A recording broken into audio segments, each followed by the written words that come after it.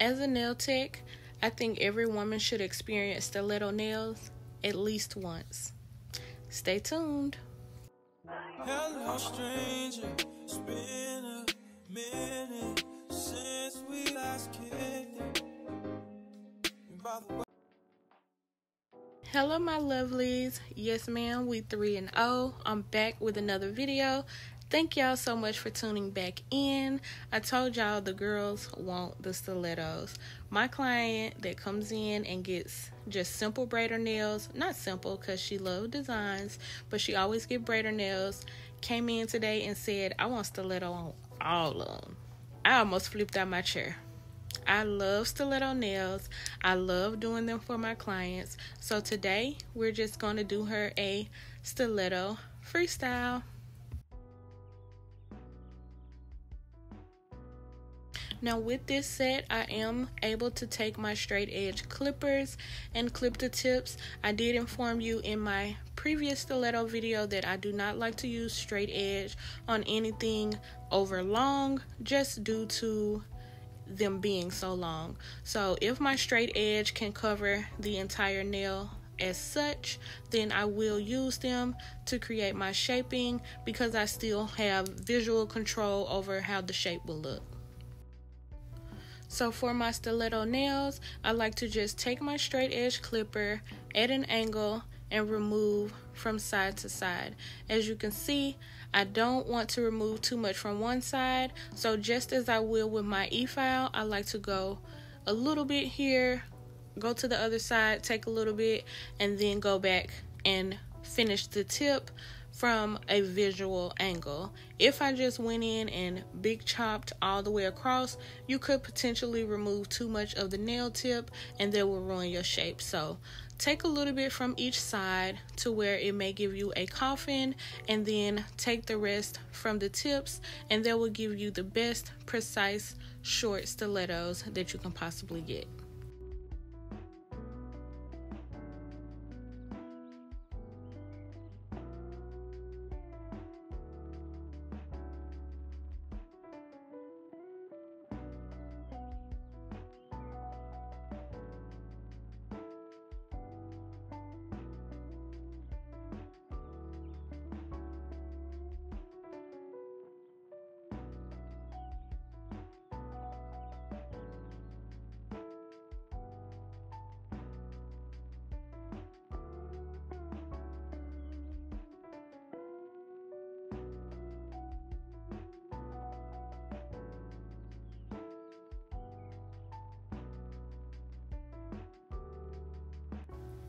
After using my straight clippers, I will go in with an 8080 nail file and just refine the sides of the nail to get more of a precise stiletto.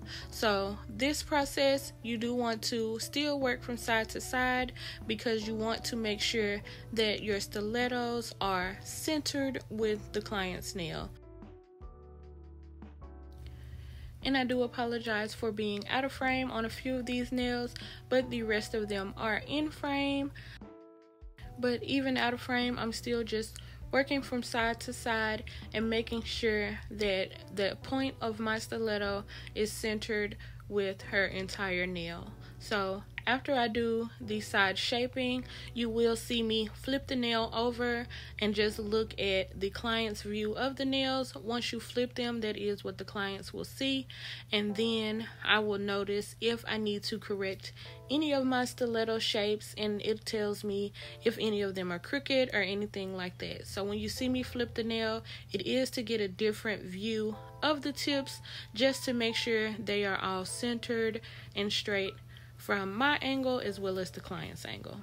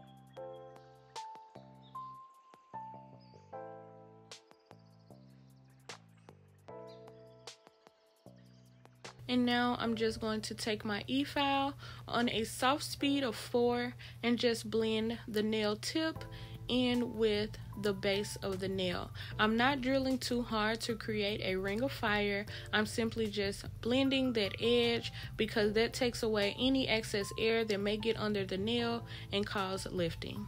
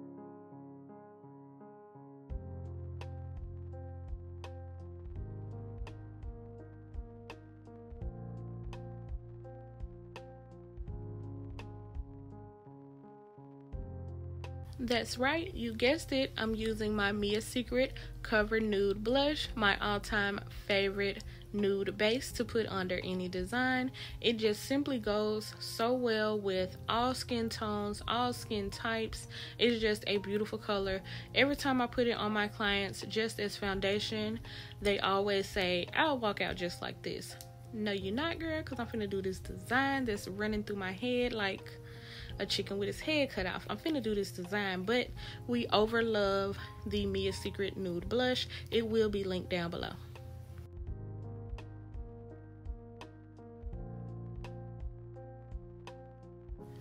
Also, when working with shorter nails, I am able to control my beads more, so I am able to stick to a two bead method sometimes a three if I really need to build the apex up stronger, but for the most part, I'm able to do a good two beads. And I love to do my pinch method just to get me the ultimate point at the tip of those nails. So stay tuned and watch as I apply this acrylic just as I would on any other fabulous set that I create.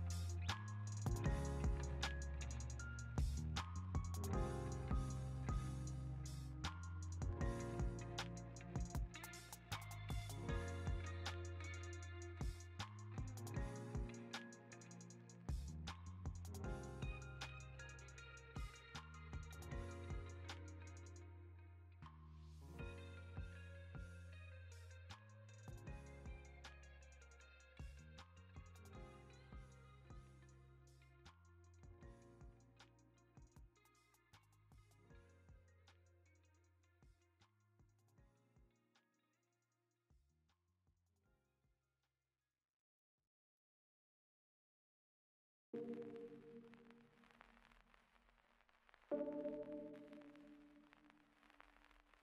you.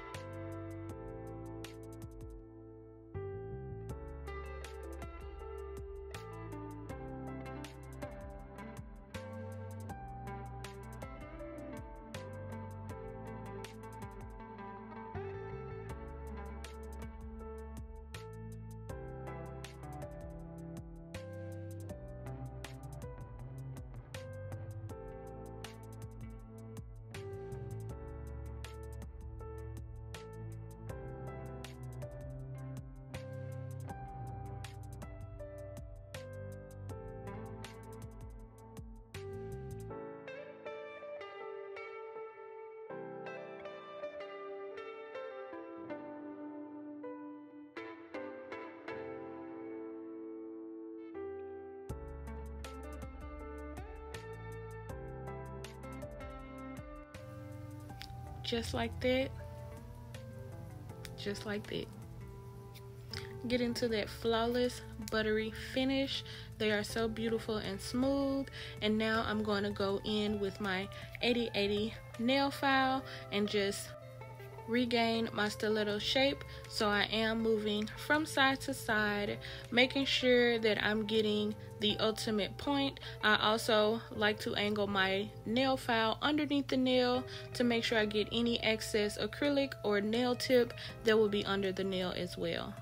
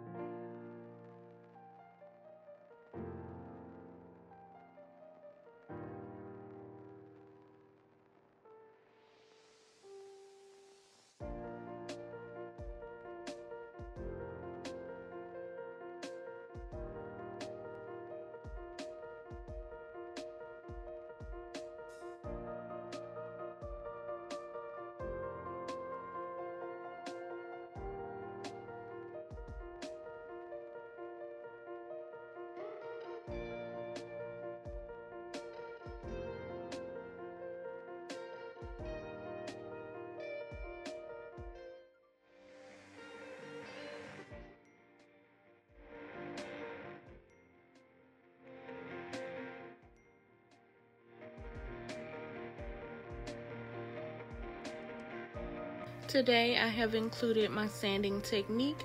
So I do like to start around the cuticle line with doing my sanding just to seal all the tips. This is very important for keeping the nails on and making sure that the client gets no lifting. Most of the times, unless the client has a really deep sidewall pocket, I'm able to get a flush foundation. So make sure that you start with going around the cuticle. And as you can see, I like to just hit all angles of the nail and making sure that from any angle that foundation is perfect. I am not using any faster than a 6 speed and if I go to a 5 speed it just doesn't give me the same finish so I do like to just work on a speed of 6 and normally this gives me the flawless polished finish that I desire. So I will go ahead and let you guys watch as I continue to get a better shape on these already stunning nails.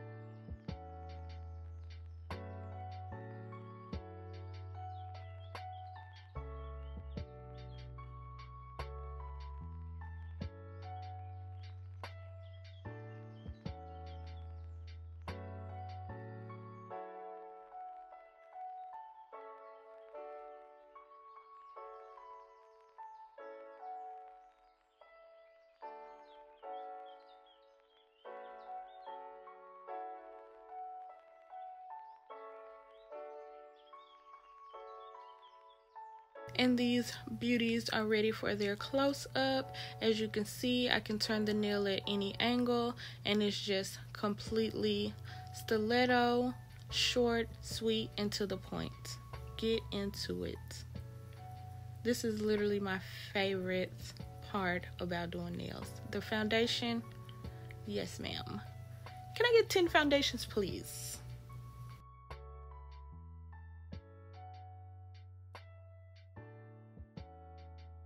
So now here are the colors I'm using. Take a screenshot if you like to use any of these colors.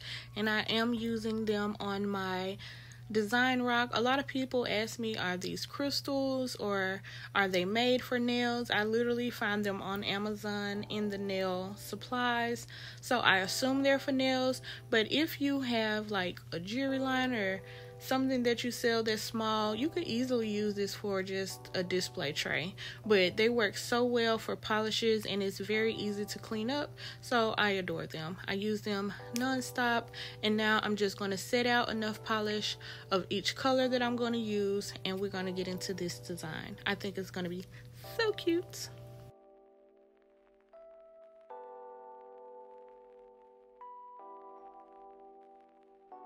And of course, I'm going in with my favorite matte top coat for designing on. This is an Amazon matte. It does not belong to any specific brand. I just love the velvet texture for when I'm going to do my design. It allows my lines to be very crisp and I did not use a gloss top coat because even with gloss it gives me a precise line but for this design I did not want to chance my lines touching at all. And once I start the design you will see why. But I will go ahead and put matte top coat on all of these nails and cure them for 60 seconds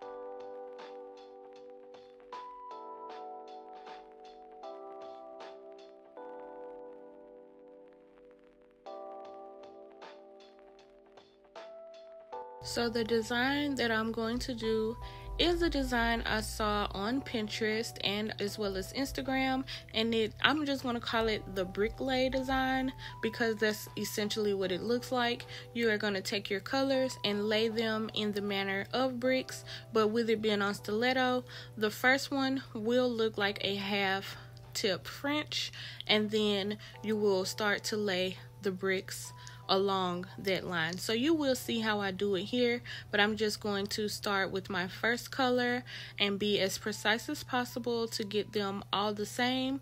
And then I'm going to cure in between each color so that I don't mess up. And if I do need to wipe off, I'm not wiping off my previous color. So I'm going and doing my teal tips on all of the nails. And then I'm going to come back and bricklay each color up the nail. Stay tuned.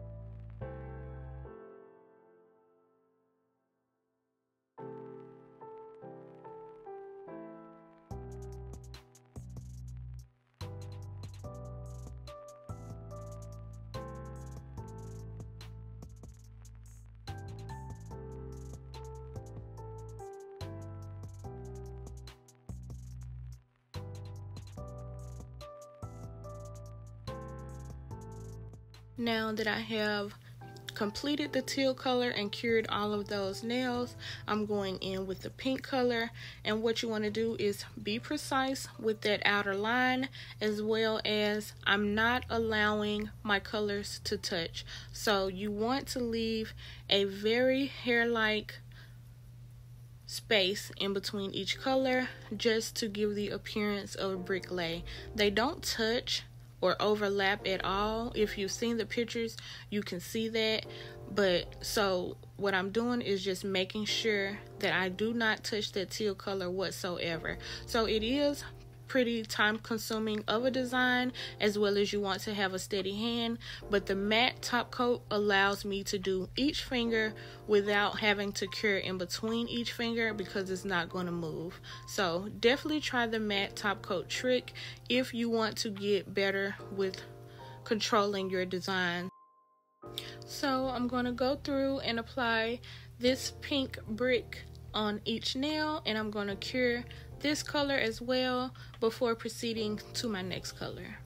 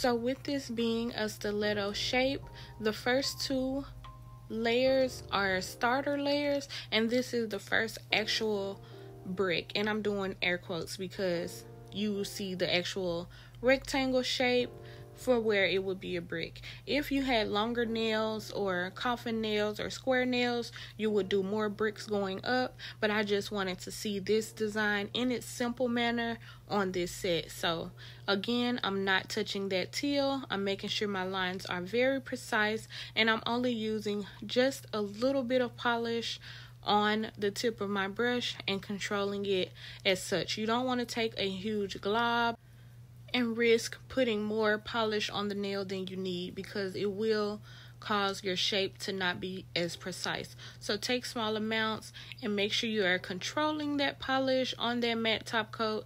Do not touch it to either corner, but I am making sure that it, I'm getting it as square and precise as possible.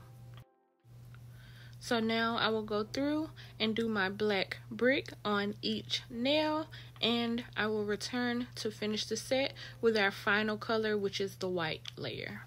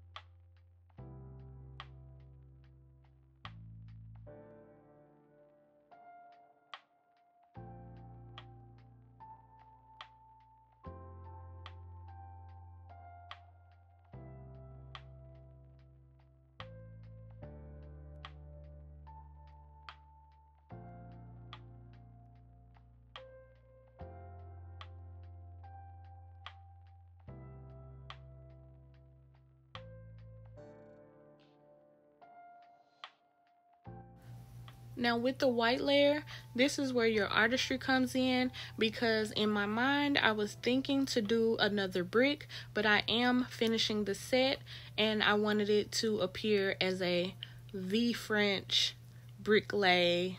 Like, I'm just making up things here, you know. So, instead of doing another rectangle, I went in and finished with an actual triangle, but I left the tip straight so it still appeared like the brick lay. So you don't want to go up and make it all the way like another brick unless the nail was longer or you were going to proceed to go up with more colors. But since I'm finishing the nail, I did want to finish it the way I started it and that was with the triangle. I do be over mathing the sets and that's why I'm I'm just a perfectionist like that. So if you want to do a brick, do a brick. But my artistry saw it to be a triangle so I'm going to finish doing these white triangles and that is the gist of this bricklay design and then of course I'm going to add just a kiss of bling at the end and that will be the finishing of this set.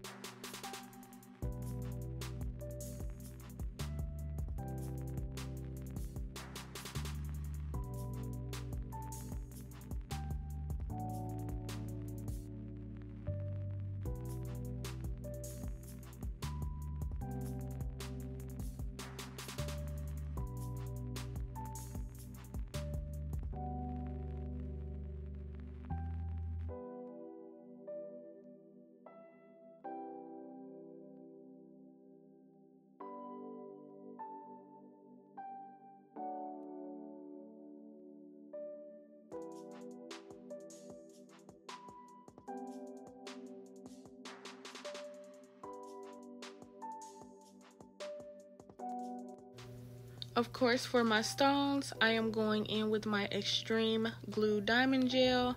My clients always crack jokes about this gel because it really can hold a wig down.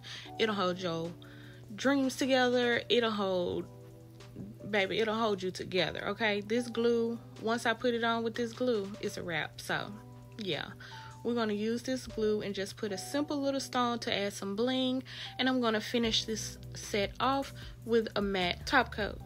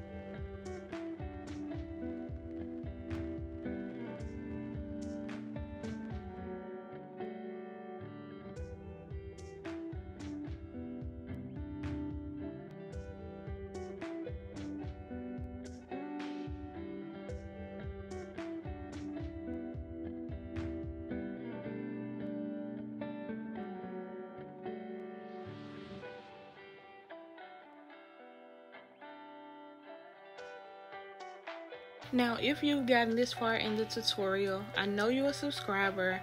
I know you've liked this video because it gave what it needed to give. And I know you have the notification bell turned on, waiting for the next upload. Thank you all so much for joining the Nine Luxe fam and be sure to comment down below so that we can get acquainted. Also, I wanted to let you ladies know it is the summertime. We are getting into our warmer months and that means our skin is longing for moisture. Be sure to oil your cuticles if not every day, every other day. This improves the appearance of your hands and also helps to promote healthy, strong nail growth that is all for this set. And until next time, make sure you guys follow my socials because I'm always uploading new reels and freestyles that you guys just don't want to miss.